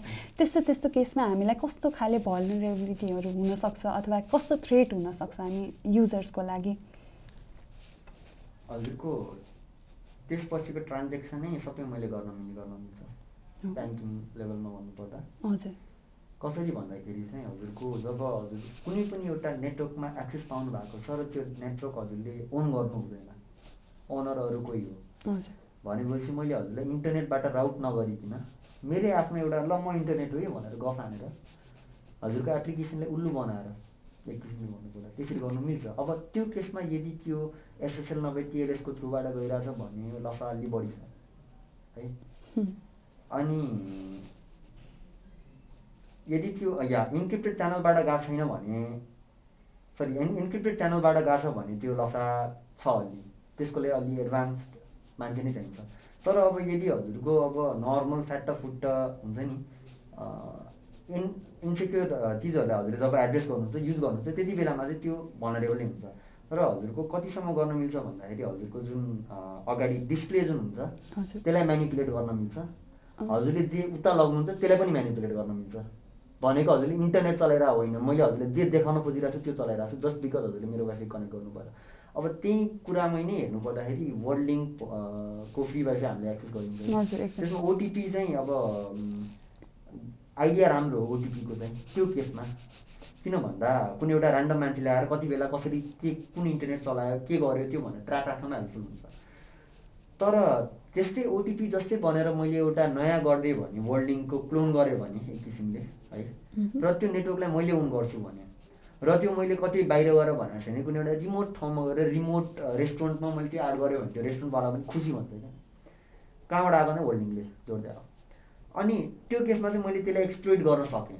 त्यो चाहिँ एउटा भनरेबिलिटी हो ठुलो भनरेबिलिटी हो अनि यसमा चाहिँ हामीले एउटा के चाहिँ ध्यान दिनु पऱ्यो भन्दा पब्लिक वाइफाईमा आफूले क्रिटिकल कामहरू सकेको मिनिमाइज गर्नु पऱ्यो र मिनिमाइज गरे मिनिमाइज गर्न सकिँदैन भने पनि एक्चुली भिपिएनमा कनेक्ट गरेर गर्नु पऱ्यो किन भिपिएन भन्नुपर्दा जब हजुर भिपिएनमा कनेक्ट गर्नुहुन्छ नि त्यति बेलामा हजुरको भिपिएन को थ्रुबाट हुँदाखेरि त्यो भिपिएनमा कनेक्सनै आफैमा एउटा इन्क्रिप्टेड च्यानलको थ्रुबाट गइरहेको हुन्छ भनेको हजुरको कुनै पनि एउटा पनि अनइन्क्रिप्टेड ट्राफिक गइरहेछ भने हजुरको फोनबाट त्यो चाहिँ हजुरले हेर्न दिँदैन कि भिपिएन मात्र युज गर्दाखेरि। सो त्यो क्रिटिकल कन्डिसनमा भिपिएन युज गर्दा भयो।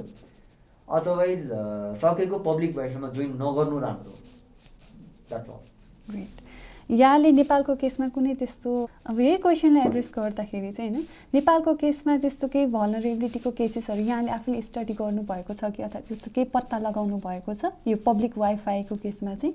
पब्लिक वाइफाईको केसमा मैले नेपालमा आफैले देखाएको छैन है। तर कस्तो भन्दा आफ्नै घरभित्र मान्छेहरूलाई पहिलेदेखि अवेर गराएर चाहिँ आफूले आफैले नै गरेको छु। तर त्यो केसमा चाहिँ त्यो इलिगल पनि हुन जाँदैन। किन भन्दा त्यो नेटवर्क मैले अन गरेको क्या। ओनरसिप कम्प्लिट मेरो छ। अनि ऊ जोइन गर्नु नै त्यति नै मतलब उताको साइडबाट मिस्टेक हो क्या भनेको। रङ साइडको बाटोमा हिँडेर चाहिँ मलाई गाडीले किन हान्यो भन्न पाउँदैन उसले त्यस्तै हो कुरा। ल जस्तै अब अहिले छ है एसक्युएल इन्जेक्सन भन्ने चिज एकदमै सानो मिस्टेकमा पनि धेरै घातक साबित हुनसक्छ है। उम्. अब डेभलपरहरूले एउटा कमन सानो एउटा कुरा गरेर त्यसलाई रोक्न सक्छन् भने चाहिँ त्यो उनीहरूको केयरलेसनेस हो कि त्यो टेक्निकल इन्फर्मेसन नभएको कि के के भन्न चाहनुहुन्छ? इन्टर्नले पैसा लगाउन खोजेको भन्छु म त्यति होइन। जसरी लाइक एकदमै सजिलरी स्ट्रेट फरवर्ड भन्नुपर्दा हजुरको एसक्युएल इन्जेक्सनबाट डिफेन्ड गर्नको लागि एउटा स्केटिङदेखि लिएर प्यारामिटराइज एसक्युएल क्वेरी थुप्रै सोल्युसनहरू छ। इट्स द्याट तर डेभलपरहरूले चाहिँ अब एसक्युएल इन्जेक्सनमा भनरेबल हुनुको कारण चाहिँ हजुरको स्किल नभएर मैले थाहै भनिरहेको छु हजुरकै मुखमा है एकैछिनमा म्याक्स पनि खोल्छु होला मैले। अनि हजुरले चाहिँ प्यारामिटराइज स्किल अनि स्किल मात्र नभएर चाहिँ भन्दैन म कहिले टाइमिङले पनि समस्या पर्न सक्छ है। Cannot always blame the skill wants to अनि टाइमिङ भन्नाले चाहिँ हजुरको अब मानौँ लेस बजेटवाला प्रोजेक्ट छ है। कम पैसा भएको बजेट छ। हजुरले फाटाफुट्टा त्यो प्रोजेक्ट सकेर हिँडौँ भइरहेको हुन्छ क्या अनि त्यति बेलामा चाहिँ हजुर प्यारामिटराइज एसक्युएल क्वेरी भनेर बस्नुहुन्न क्या। हजुरले बस प्रोजेक्ट बनाउनुहुन्छ साइड लाग्नुहुन्छ आफ्नो पेमेन्ट पाएपछि। तिनीहरू रिजन हो। तर त्यसको त्यसलाई पनि डिफेन्ड गर्ने चाहिँ हामीले सर्भर लेभलमा व्यापहरू युटिलाइज गर्न सकिन्छ रिभर्स प्रक्सी लेभलमा चाहिँ हामीले सबै चिजहरू गर्न सकिन्छ थुप्रै सोल्युसन छ। अब यसमा चाहिँ कमी कमजोरी चाहिँ एउटा मेनली भन्नुपर्दा unskilled developers lack of time to the developers who are skilled अनि त्यसपछि अर्को फाइनली के हुन्छ भन्दाखेरि अब थर्डवाला चाहिँ मैले धेरै ता तोकेर भन्न चाहेन किन भन्दाखेरि यसमा धेरै इम्प्रुभमेन्ट आएको छ विदिन अ फ्यु इयर्स है। यो चाहिँ के भन्दा इग्नोरेन्स अफ सेक्युरिटी थियो। यो चाहिँ लेस भएको छ which is good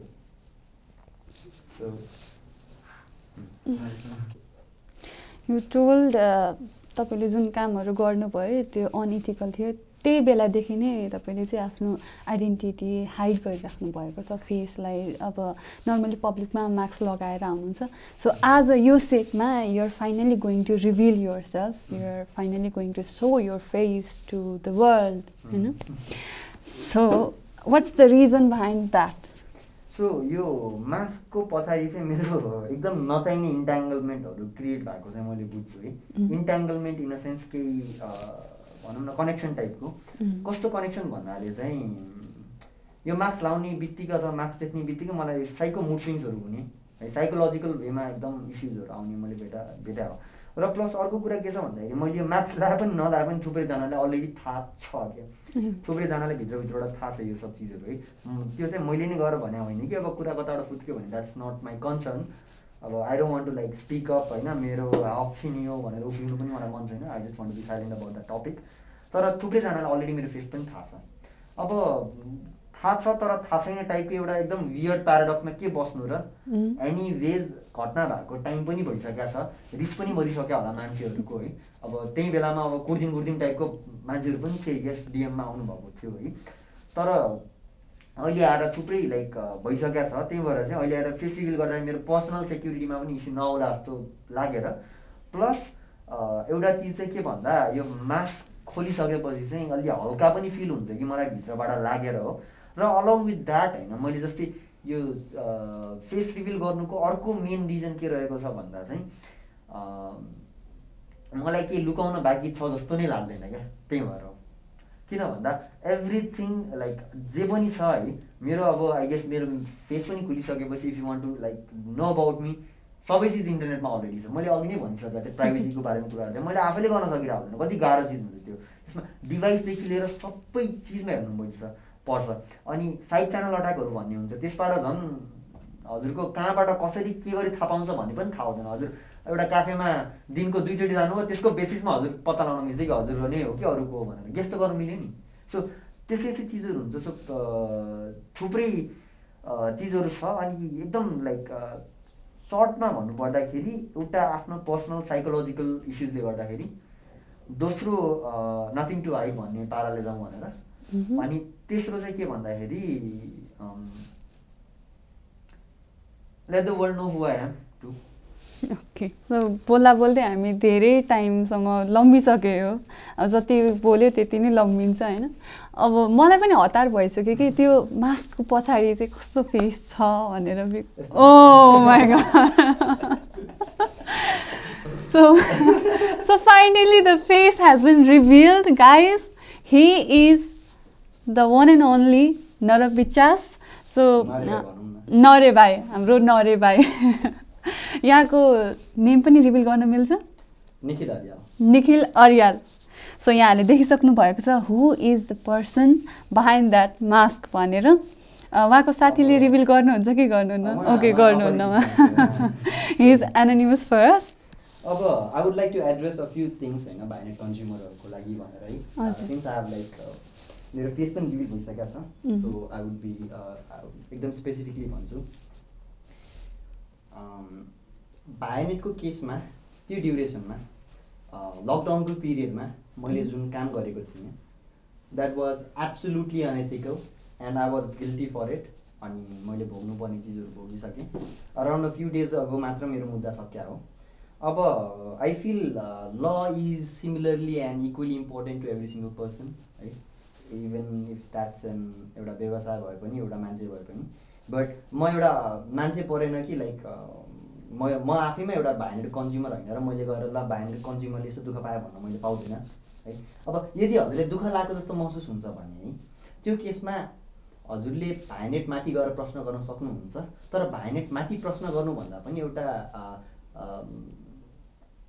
फ्लोमा एउटा रूपमा है एउटा अधिकृत रूपमा गएर हजुरले प्रश्न गर्न मिल्छ। र त्यो प्रश्न भनेको मुद्दा कै स्तरमा जानु सक्छ।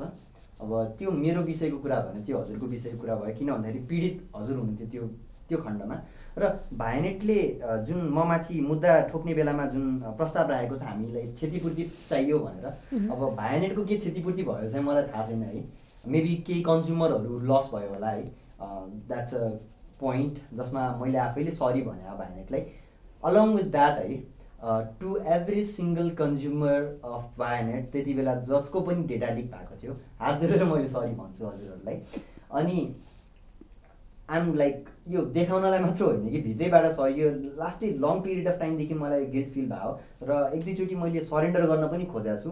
त्यो साइबर ब्युरोको फाइलमा छ if you would like to see the case study maybe अब कता गयो होला के भयो होला नट माई स्टफ तर या मैले सरेन्डर पनि गर्न खोजेँ एकचोटि अनि अब हजुरहरूलाई अहिले मैले चाहिँ स्पेसिफिकली एड्रेस गरेर के भन्छु भन्दाखेरि that's your right to actually raise your voice that यो डेटा वाज ब्रिच्ड एन्ड हजुरलाई क्षतिपूर्ति चाहियो भनेर।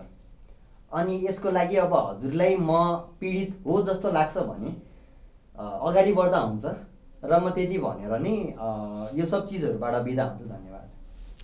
थ्याङ्क यू सो मच नरे भाइ। म नरे भाइ नै भन्छु। अ, पक्कै पनि एउटा सोह्र वर्षको अ, भर्खरको ठिटोले यसरी अ, सम्पूर्ण एउटा भाइनेटको कम्पनीको सिस्टम ह्याक गर्नु। भाइनेटको मात्र नभइकन अब there might be other persons as well उहाँभन्दा पनि खतरा ह्याकरहरू पनि हुनुहुन्छ होला। इभन हामीले त्यो त्यो पब्लिकमा नआएको होला होइन? एकदम एकदम। नेपालमै बस्नुहुन्छ। सो त्यस्तो ट्यालेन्टहरूलाई चाहिँ बरु पहिचान गरेर न उहाँहरूलाई ग्रुमिङ गरेर होइन बिकज उहाँहरू प्रायः जस्तो चाहिँ यङ एजकै हुनुहुन्छ नि त होइन। प्रायः जस्तो। युथ उहाँहरूको बारेमा थाहा पाउने बित्तिकै अब नर्मली हामी के गर्छौँ भने दे आर अल अनइथिकल भनेर हुन त अनइथिकलहरू पनि धेरै हुनुहुन्छ जस्तै उहाँ नै एकचोटि केसमा पुग्नु भएको थियो। धेरै हुनुहुन्छ चाहिँ नभनौँ। नेपालको कन्टेक्समा मैले पर्सनली हेर्नु पर्दाखेरि अनएथिकल ह्याकर भनेर अनि त्यस्तो टाइपको चाहिँ मलाई देखाएको छैन कि। अब त्यो फिसिङ साइटहरू बनाएर गर्लफ्रेन्ड बोयफ्रेन्ड भनेर उफ्रिनु यताउता। अनि त्यस्तो त्यस्तो चिजहरू त मैले देखिरहेको हुन्छु है। तर अब एकदमै हुन्छ नि कर्पोरेट लेभलमै चाहिँ अट्याक गर्ने त्यसरी अनएथिकल पाराले जाने होइन? जुन इन्टरनेसनल लेभलमा भइरहेको हुन्छ त्यो चाहिँ नेपालमा कमै भइरहेको हुन्छ। ठिक छ तर नहोला पनि भन्न चाहिँ Yeah. बिकज मान्छेको इन्टेन्सन के हुन्छ थाहा हुँदैन। अनि त्यस्तो केसमा बाट बस्नको लागि इभन युजरलाई नै सेक्योर गर्नको लागि अनि कर्पोरेट्स गभर्मेन्ट्स एन्ड अदर अथोरिटिजहरूले चाहिँ आफ्नो सिस्टमलाई सेक्योर गर्नको लागि कृपया एकदम रिसर्च गर्नुहोस् भन्न चाहन्छु। म इन्टायर टेक साथीको टिमबाट so that's all from my side and I hope you enjoy the video and you got many things to learn even मलाई पनि कति कुरा थाहा थिएन आज मैले धेरै कुरा सिक्न पाएँ। Thanks to you thanks to Tech Sathi. And please keep updated with us for other reviews other updates as well अब भने यहाँहरूको लागि एउटा गिफ्ट ह्याम्पर आएको छ याकीबाट। यो चाहिँ टी सर्ट्स हो। याकीले टी सर्ट्स एन्ड अरू स्वेट सर्ट्स हुडिजहरू प्रिन्टेड टी सर्ट्सहरू निकाल्छ। सो यो यहाँको लागि। वेलकम यो यहाँको लागि।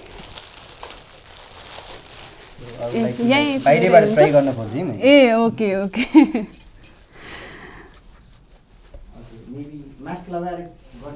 मास्क.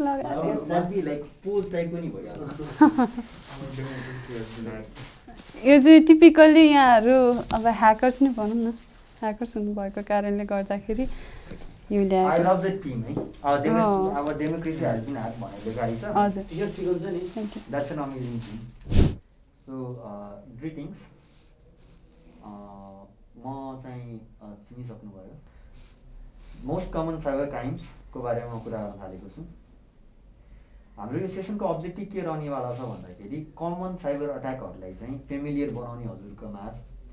यसलाई एभोइड कसरी गर्न सकिन्छ भने यसबाट हामी पर कसरी जान सकिन्छ भनेर हामीले त्यो हेर्छौँ। र त्यसपछि हामीले यदि त्यसमा परिहाल्यो भने पनि त्यो बेलामा हामीले के गर्न सकिन्छ त? भनेर हामीले त्यो पनि हेर्छौँ। र के के एक्सपेक्ट गर्दा हुन्छ आजको सेसनदेखि भन्दाखेरि क्रिमिनल एक्टिभिटिजहरू केही नयाँ क्रिमिनल एक्टिभिटिजहरूको हजुरले रिकग्निसन पाउनुहुन्छ। केही उदाहरणहरू म दिन सक्छु र केही रियल वर्ल्ड इभेन्टहरूको बारेमा कुरा गर्न सक्छु र नयाँ शब्दहरू पनि सिकिन्छ हजुरले। र के आश नगर्दा हुन्छ भन्दाखेरि चाहिँ कसरी नै लिटरली के गरी अट्याक भयो भनेर चाहिँ मैले त्यो बढी भन्दैन एक्सप्लेन गर्दैन र क्वेरिज चाहिँ आउट अफ टपिक एड्रेस गर्दैन म।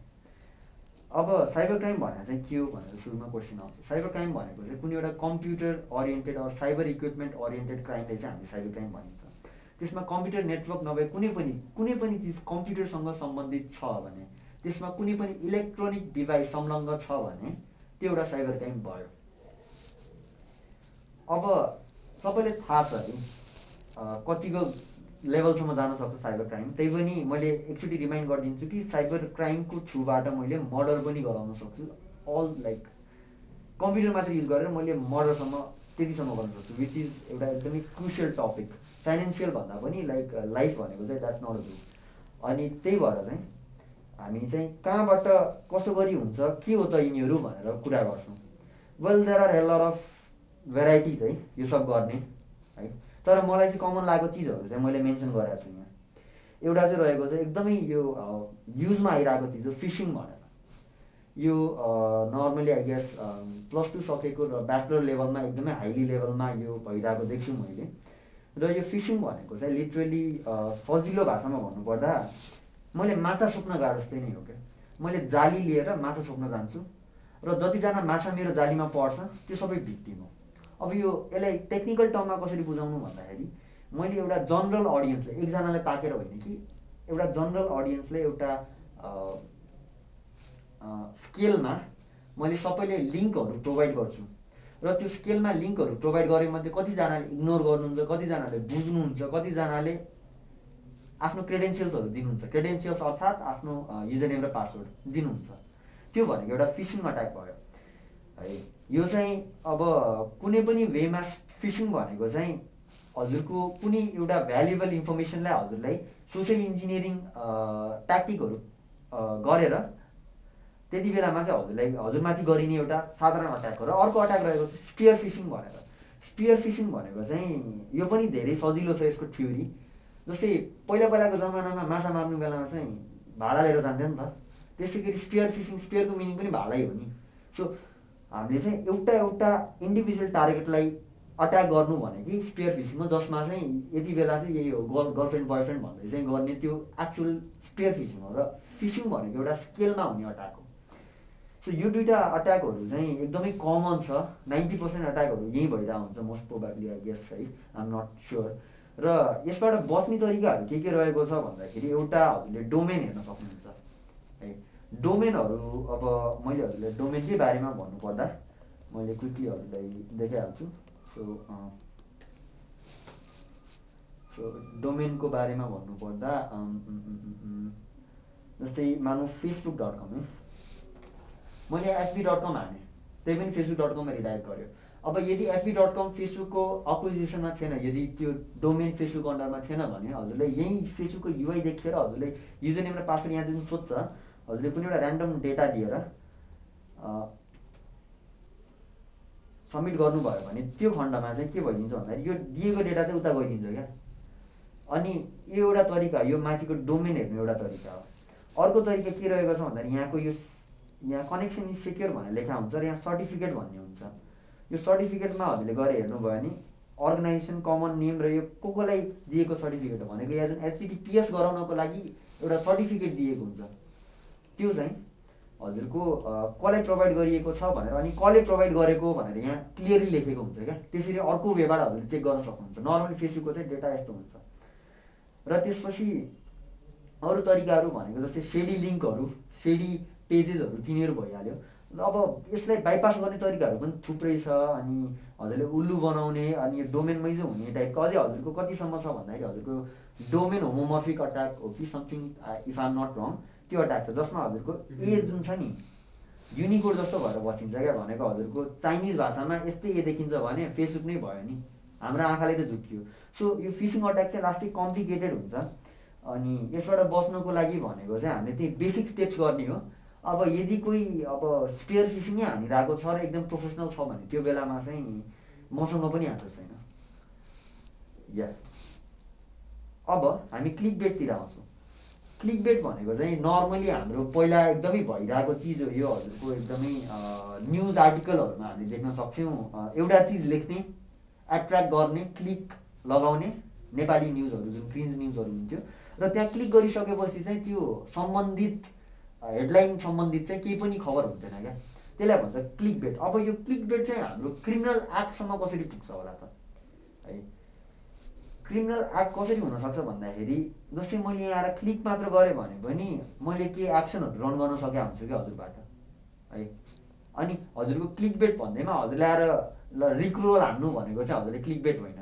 हजुरलाई क्लिक बेट भनेको कस्तो हुनसक्छ भन्दाखेरि हजुरले केही चिज क्लिक गर्नुभयो र त्यसपछि एउटा कुनै भनरेबिलिटी मैले कुनै ब्याङ्कमा भेटेको थिएँ भनरेबिलिटी मतलब कमजोरी अथवा कुनै चिजमा भेटेको थिएँ। त्यसको थ्रुबाट मैले हजुरको अकाउन्टबाट केही ट्रान्ज्याक्सनहरूदेखि लिएर हजुरको अकाउन्ट डिलिट गर्नदेखि लिएर थुप्रै अरूहरू भिन्न भिन्नै चिजहरू मैले गर्न सक्छु। जस्ट बिकज हजुरले त्यो लिङ्क छुनुभयो। है हजुरले वार्निङ पनि आएन नोटिस पनि आएन हजुरले पासवर्ड पनि हान्नु भएन केही पनि गर्नु छुनुभयो पेज लोड भयो अब लोड हुने बेलासम्म हजुरले काटेपा हुन्थ्यो अब के गर्नु? गयो अब। त्यस्तो केसमा पुग्नुहुन्छ हजुर। यो भनेको चाहिँ क्लिक बेट हो। अब अर्को रहेको छ भन्दा ड्राइभ बाई अट्याक भन्ने छ। है अनि यो क्लिक बेटबाट बच्नुको लागि त अब विवेकै प्रयोग गर्नु। मैले के भन्नु रे क्लिक बेटमा चाहिँ अब कहाँ कहाँ छुने कहाँ कहाँ छुने होइन? है अनि के के लिङ्कहरू युज गर्दा राम्रो होला? भ्यालिडिटी हेर्ने भ्यालिड छ कि नै भनेर हेर्ने है। एकचोटि गएर गुगलमा गएर ब्याकग्राउन्ड चेक गर्ने कुनै पनि चिजको पछाडि that would be a best thing किन भन्दाखेरि एउटा दुई मिनट गुगल सर्च गरेर चाहिँ के जान्छ जस्तो लाग्दैन मलाई। र त्यसपछि अर्को रहेको छ यहाँ ड्राइभ बाई अट्याक भन्ने छ क्या। यो फोटोहरूले अलि क्लियर नै भयो भएको होला एकदमै नजिक हुनुहुन्छ होला यो फोटोमा। ग्रान्टेड अटो फाइभमा सो ड्राइभ बाई भनेको कस्तो हुन्छ भन्दा रनिङ भेहिकलबाट मैले किलिङ गर्नु भनेको चाहिँ ड्राइभ बाई हो यो गेममा है। अनि यो यसमा चाहिँ हामीले फोकस गर्नुपर्ने पार्ट भनेको एउटा रनिङ हो र एउटा कुनै टास्क अकम्प्लिस गर्नु हो अथवा त्यसले एक्सप्लोइटेसन पनि भन्न सकिन्छ हामीले। किलिङै नभनेर भनेको त्यो कमजोरीको फाइदा उठाउन पनि भन्न सक्यो हामीले नमागिकन अब यहाँ कुनै रनिङ चिजबाट मैले अर्को टार्गेटलाई टार्गेट गरेँ भने त्यो केसमा त्यो रहनेवाला छ ड्राइभ बाई अट्याक यो भनेको पहिलेदेखि भनरेबल प्लेटफर्म जुन हुन्छ जस्तै मानौँ कि कुनै एउटा सस्तो बजार डट कम भन्ने मैले एउटा खोलेँ आउट अफ नो वेयर र त्यसमा एउटा भनरेबिलिटी छ एउटा कमी कमजोरी छ। यो कसैलाई थाहा छैन? म एउटा अट्याकर भएर मलाई मात्र थाहा छ। अब त्यो कमी कमजोरीको केसमा कस्तो भयो भन्दा सस्तो बजार एउटा कुनै थुप्रै मान्छेले युज नगरे पनि around hundred to twenty people जति त्यसले गाजर गर्न सकिया हुन्छ मोस्ट प्रोभाब्ली अब त्यो प्लेटफर्मलाई मैले युज गरेर है अरूले युज गरेछन् कि गरेको छैन पनि मलाई सरकार छैन। अब मैले के गर्छु भन्दाखेरि सस्तो बजार डट कमको थ्रुबाट अरू एक्सनहरू मैले रन गरिदिन्छु क्या। त्यो भनेको ड्राइभ बाई अट्याक हो। योबाट चाहिँ हामी अब एज अ नर्मल पर्सन होइन हामीले चाहिँ यसमा के गर्न सकिँदैन तर डेभलपरलाई चाहिँ युजफुल चाहिँ के भन्दा आफ्नो एप्लिकेसन किन सेक्योर बनाउने भनेर क्या। कसले आएर ह्याक गर्ला भन्ने हुँदैन त्यति बेला। त्यति बेला कसैले आएर उडाइदियो भने हजुरको सर्भरबाट एक्सप्लोइट रन हुने हजुर आएर समातिने अनि किन भन्दा सर्भरको अनरसिप हजुरमाथि छ अनि त्यो मान्छे कहाँ हो कहाँ फरार हुनु पनि हुनसक्छ। सो ड्राइभ अट्याकबाट चाहिँ डेभलपरहरू बचेर बस्नुपर्ने चिज हो यो। र अर्को चाहिँ हाम्रो बर्थडे प्याराडक्स भन्ने छ। बर्थडे प्याराडक्स अट्याक यो चाहिँ अलिक कम्प्लिकेटेड अट्याक नै हो। यदि हजुर म्याथमा फेमिलियर हुनुहुन्न भने म्याथमा अलि राम्रो हुन्छ भने यो खासै गाह्रो अट्याक नहुनु पर्ने हो। यसमा चाहिँ हजुरको क्रिप्टोग्राफिक अट्याक हो जसमा हामीले प्रोभाबिलिटीको थ्योरीले हामीले बर्थडे प्याराडक्सको साथ गरिन्छ। अब बर्थडे प्याराडक्स भनेको चाहिँ कस्तो भन्दा हजुरको एउटा सानो प्याराडक्स हो जुन प्रोभाबिलिटीको थ्योरीमा चाहिँ एउटा प्याराडक्स क्रिएट गर्छ। म बढी एक्सप्लेनेसनतिर जान चाहन्न यसको। तर पोइन्ट के छ भन्दाखेरि चाहिँ मैले प्रोभाबल चिजहरू चाहिँ पहिलेदेखि गेस गर्न सक्छु भनेर बुझ्नु अहिलेलाई सो बर्थडे प्याराडक्स अट्याक्सदेखि हाम्रो के के हुनसक्छ भन्दाखेरि हाम्रो त हुने केही होइन तर एज अ डेभलपर हजुरले आफ्नै इन्क्रिप्सन स्किम बनाउनु भएन। है? आफूले इन्कोडिङ इन्क्रिप्सन म होइन खतरा गर्छु जान्ने हुन्छु भनेर गर्न भन्दा पनि स्ट्यान्डर्ड जुन छ इएस आरएसए होइन त्यसलाई नै युटिलाइज गरेर हजुरले गर्नु पऱ्यो अब त्यसपछि हाम्रो रहेको छ man in the middle attack भनेर। यो भनेको चाहिँ लास्टै कम्प्लिकेटेड अट्याक त भन्दैन तर यो अट्याकको सक्सेस रेट चाहिँ लास्टै बवाल हुन्छ। किन भन्दा म यसको लागि हजुरको एउटा सेम वाइफाई नेटवर्कको भित्रमा मात्र आउनुपर्छ र मैले हजुरको man in the middle attack गर्न सक्छु। Man in the middle attack भनेको नामले नै भनिसक्यो यहाँ मान्छे बिचमा छ अट्याकर बिचमा छ माथि स्विच अथवा राउटर हब जे पनि छ एउटा कनेक्सन क्रिएट भएको छ दुइटा भिक्टिमको बिच। अब म यहाँ बिचमा बसेर के गर्छु भन्दाखेरि भिक्टिमलाई म स्विचो भन्छु यो भिक्टिमलाई नि म स्विचो भन्छु र दुइटाको बिचमा म बसेर कुराकानीहरूमा म्यानिपुलेट गरिदिन्छु क्या। भनेको यताबाट मलाई स्याउ चाहियो भनिरहेको छ नि मैले उताबाट केरा पठाइदिइरहेको छु क्या। त्यो गर्न सक्छु मैले। अब यो कसरी हार्मफुल हुन्छ भन्दाखेरि हजुरको क्रेडेन्सियल्सहरू लक गर्नु मिल्छ।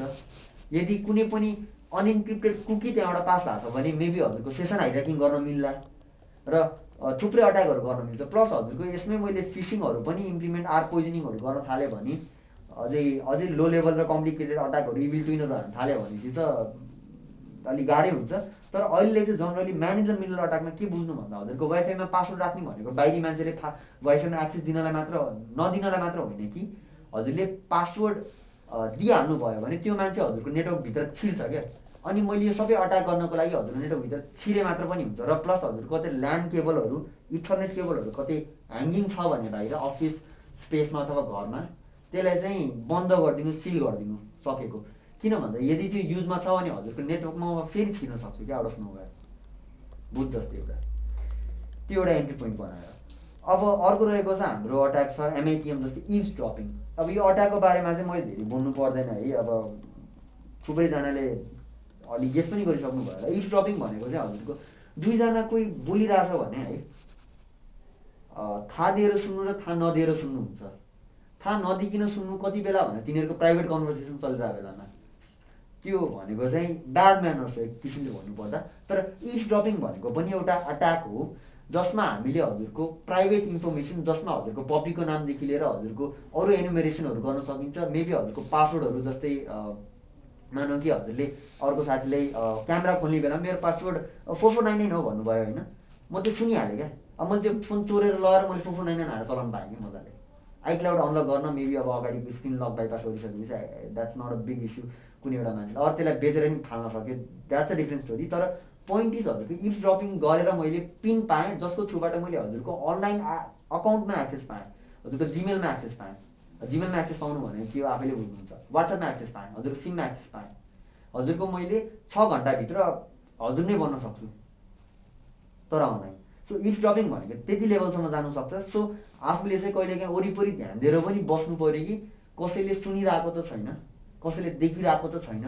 कुनै प्राइभेट चिजहरू कुराकानीहरू गर्ने बेलामा कन्सियस हुनु पऱ्यो अनि when it comes to digital stuff अझै युआरएलहरू पनि हजुरको एडमिन प्यानल पनि हजुरको पोर्टलहरू पनि त्यो शब्दहरू पनि यहाँ लगाउनु पऱ्यो क्या। यो चाहिँ अलिक जनरल अडियन्सले नभएर एउटा डेभलपर अथवा चलाइरहेको अथवा टेकी मान्छेलाई पर्छ तर इक्वली इम्पोर्टेन्ट छ दुइटैलाई। अब पालो आयो हाम्रो भाइरस वर्म्स ट्रोजनहरू अनि यो यो फोटो चाहिँ हाम्रो वानाक्राई वेयरको थियो। त्यति बेला चाहिँ कतिवटा ठाउँ इन्फेक्ट भएको थियो भने यो चाहिँ ट्रोजन हाउसको रिप्रेजेन्टेसन हो। यो चाहिँ मैले धेरै अगाडि युज गरेर फोटो थियो। ओके अहिले चाहिँ कोरोनासँग रिलेट गर्नु मिल्छ यो चाहिँ वार्म भइहाल्यो। यो रुट किट यो कुन रिङ मोडलमा चल्छ भने यो रुट किट हो। अब यो फोटोतिर डिस्क्रिप्सन भन्दा पनि मालवेयर भनेर के बुझौँ अब मालवेयर भनेको चाहिँ हामीले सुरुमा त्यसको लागि सफ्टवेयर भनेर बुझौँ है। सफ्टवेयर भने हजुरले सबैले बुझ्नु भएको छ। एउटा logical part of computer that helps it app operate or group of programs यदि हजुर कम्प्युटर साइन्स स्टुडेन्ट हो अब मालवेयरमा चाहिँ एउटा चिज हुन्छ मलिसियस भनेर। मलिसियसको अर्थ हजुरले हेर्नुहुन्छ भने मलेसियसको अर्थ हजुरले अहिलेलाई के बुझ्नु भन्दा सजिलरी हार्म गर्ने इन्टेन्सनै राख्ने चिज कुनै।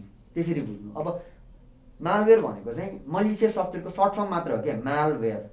Malicious software. So malicious software भनेको कुनै पनि मैले सफ्टवेयर रेडी गर्छु। कोडिङ नै हो मैले गर्ने। मेबी मैले जाभामा लेख्न पाएँ मेबी हजुरको ब्याचमा पनि लेख्न पाएँ जावा स्क्रिप्टमा लेख्न पाएँ एचटिएमएलमा पनि गर्न पाएँ मेबी थाहा अनि त्यसपछि जुनै कुन पनि ल्याङ्ग्वेजमा हुनसक्छ।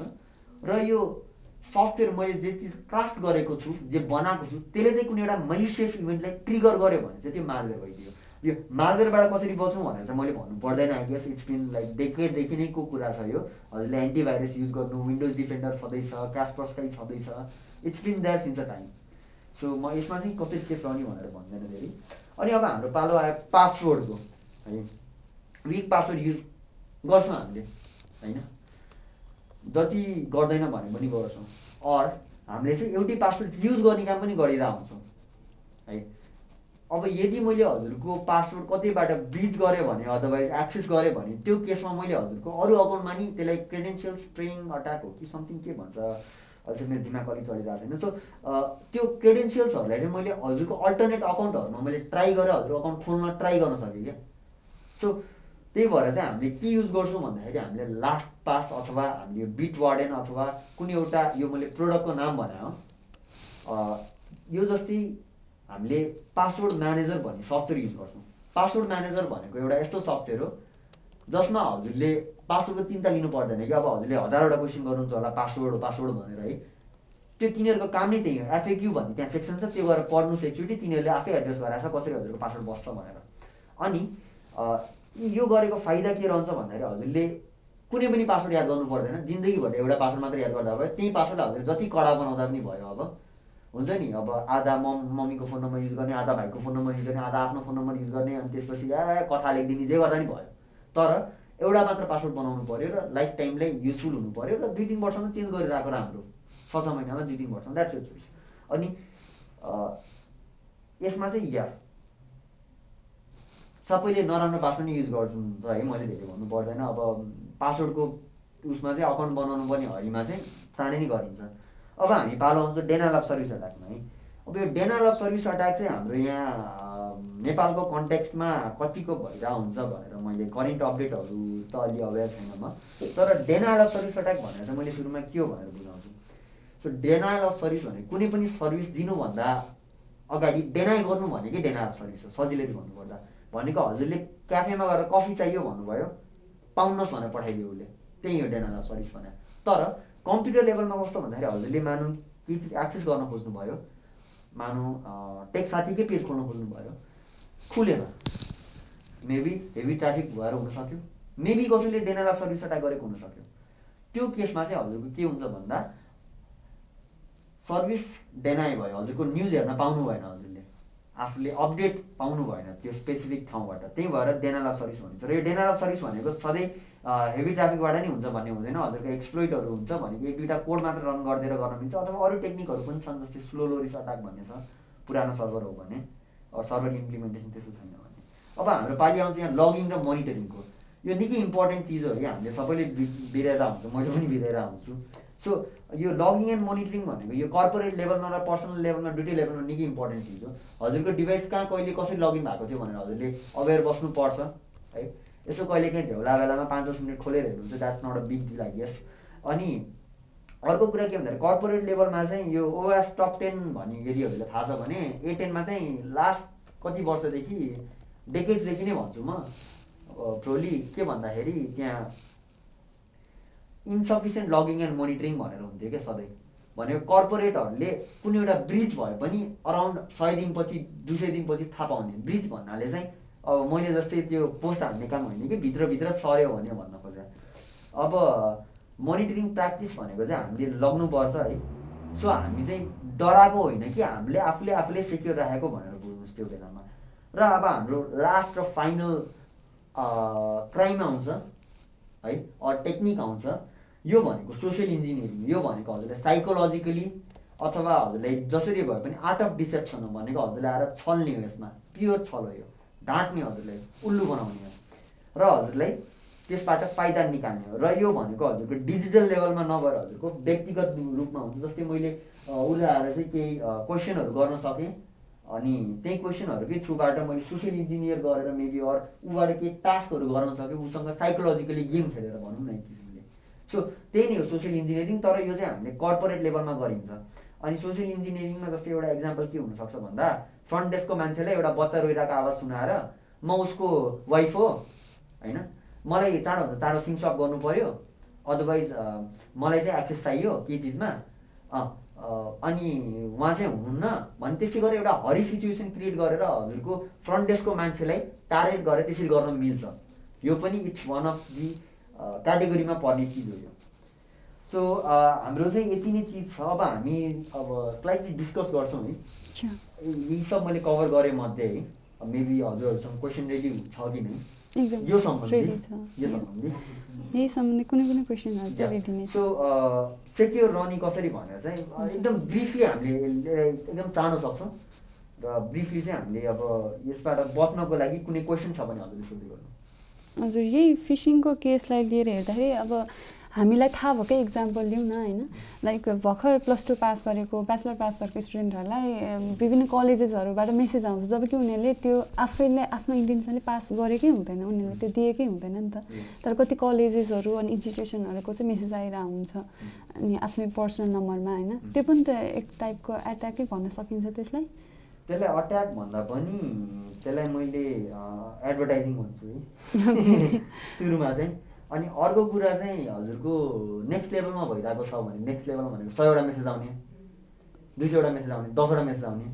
दसवटा चाहिँ अलिक कमै भयो तर दसवटा पनि ठिकै हो। सो त्यो लेभलमा आइरहेको छ भने त्यस्तो केसेसहरू छ र हाम्रो एसएमएस बम्बिङ भन्ने छ।